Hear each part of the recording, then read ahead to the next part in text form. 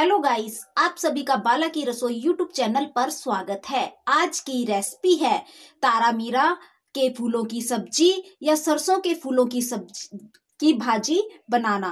तो आइए स्टार्ट करते हैं तारा मीरा के फूलों की भाजी बनाना। तारा मीरा के फूलों की भाजी बनाने के लिए ये हमने तारा मीरा के फूल लिए हैं। इनको हमने साफ़ पानी से अच्छे से धो लिया है और थोड़ा सा भी कट भी कर लिया है और ये हमने हरा लहसुन लिया है। ये 250 ग्राम के आसपास हरा लहसुन है। इसको भी हमने बारीक कट कर लिया है। एक अदरक का टुकड़ा इसको हमने चार पाँच टुकड़ों में कर लिया है। आठ से दस हमने हरी मिर्च और आधा चम्मच जीरा और आधा चम्मच हमने मोटी सरसों के दाने लिए हैं, नमक स्वाद अनुसार, आधा चम्मच गरम मसाला और चौथाई चम्मच हमने आमचूर पाउडर लिया है, आधी चम्मच हमने हल्दी पाउडर और आधी ही चम्मच हमने देगी मिर्च पाउडर लिया है। तो आइए बनाते हैं तारा मीरा के फूलों की भाजी। ये मैंने कढ़ाई में गरम पानी रख दिया है, गरम पानी हो चुका है। अब मैं इसके अंदर ये फूलों को डाल लूँगी। और इसी में थोड़ा सा एक भाप में उबाल लूँगी, एक उबाल आने तक। जब तक ये हमारा उबलता है।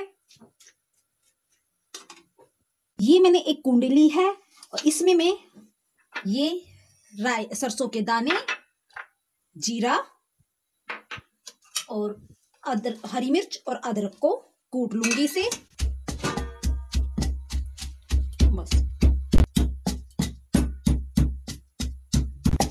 अब मैं इसी के अंदर ये मसाले डाल दूँगी, नमक, हल्दी पाउडर, लाल मिर्ची पाउडर और अमचूर पाउडर। और थोड़ा सा मैं इसमें पानी डालूँगी, एक चम्मच के आसपास।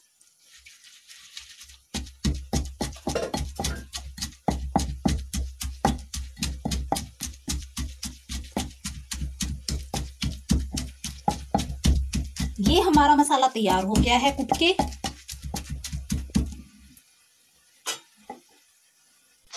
और इधर हमारे ये पानी में उबाल आ चुका है। अब मैं इसको फूलों को छान लूँगी।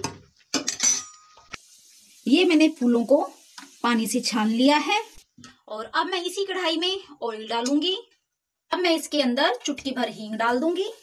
साथ ही मैं ये कुटा हुआ मसाला डाल दूँगी इसमें।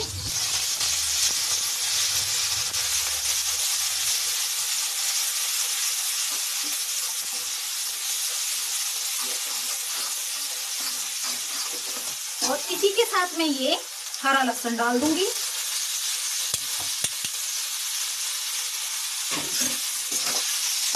और इसे मैं भून लूँगी लहसुन को।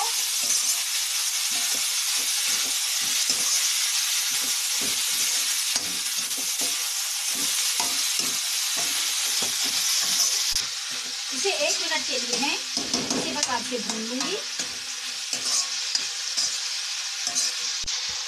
अब मैंने इस पूरी के अंदर दो चम्मच पानी डाला है। ये बीच में डाल दूँगी।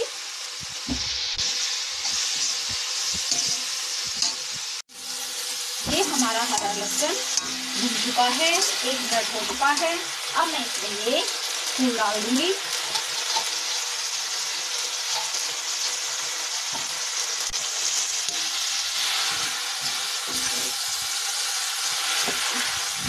और इसे अच्छे से मिक्स करूँगी।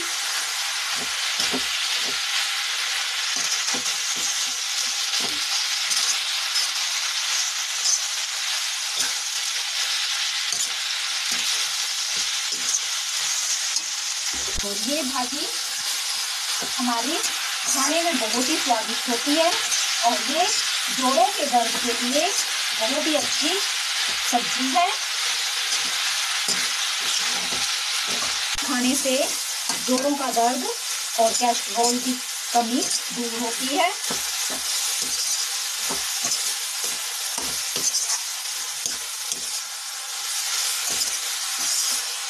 और अब मैं इसे एक मिनट के लिए ढक के पकने दूँगी। तो आइए चेक करते हैं।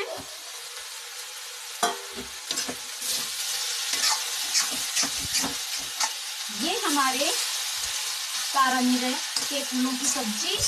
बनकर तैयार हो चुकी है। और अब मैं गैस को बंद कर दूँगी और इसे एक बाउल के अंदर सर्व करूँगी।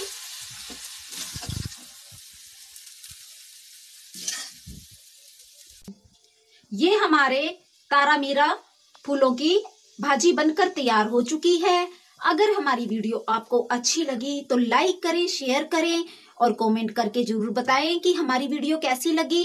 अगर अच्छी लगी तो लाइक और शेयर ज़रूर करें। धन्यवाद।